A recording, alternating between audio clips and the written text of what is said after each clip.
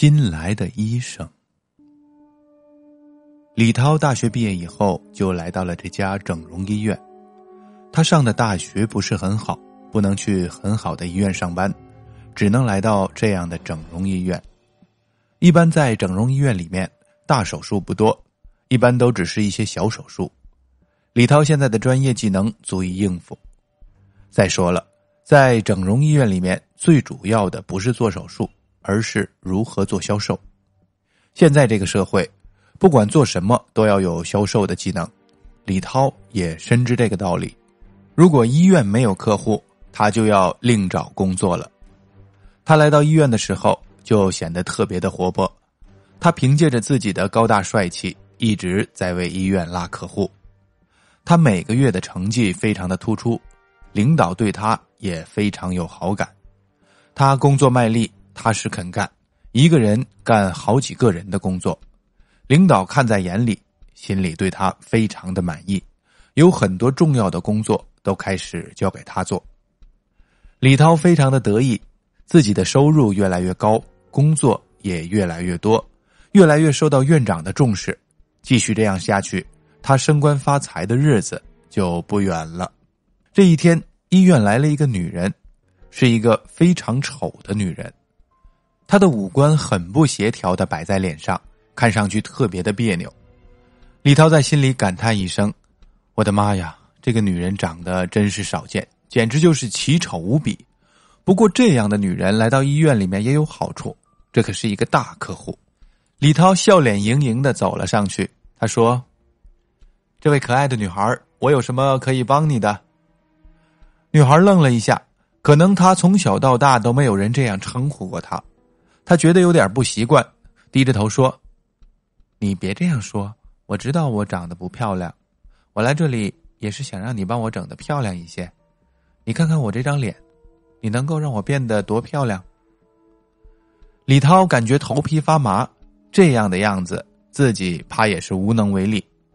不过他也不能这样说，他仔细的看了看这张脸，简直是惨不忍睹。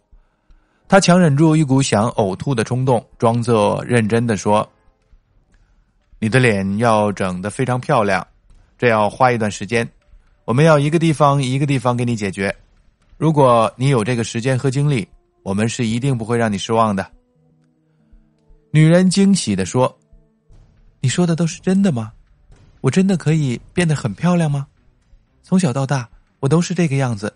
别人看我的时候，眼里面都是嘲讽，他们都叫我丑八怪，没有一个人愿意和我玩。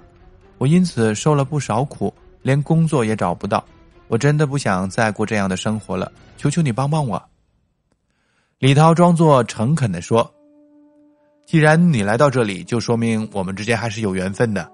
你放心好了，在我的计划之下，你一定会变得像一个公主一样漂亮。”女孩两眼放光，她认真的说：“我真的可以变得像公主一样漂亮吗？真的可以摆脱我现在的样子？”李涛笑了。这是当然的，我是不会骗你的。我们这里是医院，怎么会骗你呢？如果我骗你，你随时可以上来找我。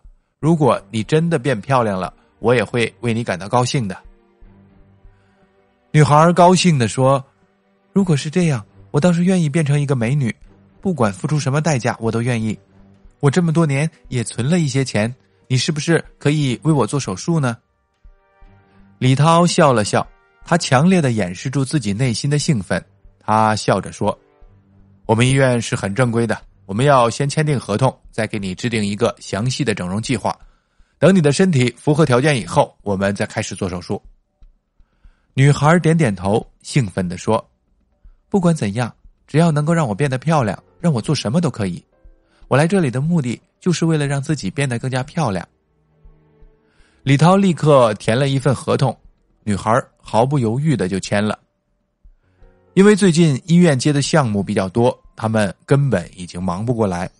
李涛是新来的医生，根本没有做过手术，日常的工作就是销售。这一天，院长突然对他说：“我们医院人手不够，有几个简单手术，就让你去完成吧。”李涛虽然有些心有余悸，但是想了想，自己多少也是一个医生。虽然还没做过什么手术，但是在学校里面也学过不少的知识，像这样的整容手术应该不成问题。想到这里，他点头答应了。那个难看的女孩被麻醉以后推上了手术台，李涛穿着白大褂给她做手术。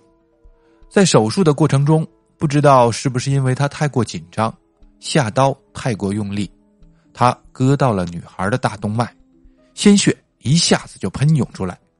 他目瞪口呆，吓得不知所措。这是他造成的事故，如果不及时止血，他一定会死的。如果为女孩止血了，他也无法弥补这个伤疤。他就这样呆呆的看着女孩，要是他再不醒过来，这就是一个意外；要是他醒过来了，自己就会赔得倾家荡产。他就这样呆呆的看着女孩，直到她的生命走到尽头。跟他想的一样，女孩的死被认定为意外，他只是赔偿了一小部分的钱，这件事情。就算是过去了，他继续留在医院里面，这件事对他没有造成多大的冲击。这天晚上，他刚准备睡觉的时候，突然接到了一个电话，是院长打来的。院长要求他立刻回到医院做手术。虽然觉得很奇怪，可是他还是来到了医院。他不想失去现在的工作。他来到医院的时候，发现门是开着的，他走了进去。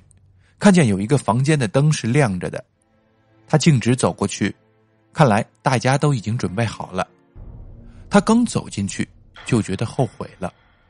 他看见整个房间都是血，手术台上躺着一个满身鲜血的女孩。这个女孩，他也认识，就是自己害死的那个。他吓得双腿发软。这个已经被带走的女孩，为什么会出现在医院里？他到底要做什么？难道是想找自己报仇吗？他越想越觉得恐怖。难道他变成鬼以后就什么都知道了？李涛贴着墙壁，慢慢的往后走。女孩躺在那儿一动不动，这样显得更加的诡异。突然，女鬼一下子坐了起来，表情狰狞的看着他。李涛尖叫一声，转身就想逃跑。他可不想坐以待毙，谁知道脚下一滑，扑通一声栽倒下去。他痛苦的说：“别杀我，那只是意外。”女孩咯咯的笑了，她的声音尖锐刺耳，让人觉得脑袋生疼。李涛使劲的捂住自己的耳朵，他已经害怕到了极点，他已经没有力气逃跑了。看着女鬼拿着刀走向自己，只是一刀，他的动脉。就被划破了，鲜血喷了一地，他感觉一阵刺痛，然后就失去了知觉。第二天，李涛被人发现独自死在了医院当中，手里握着一把锋利的手术刀，插入了自己的大动脉之中。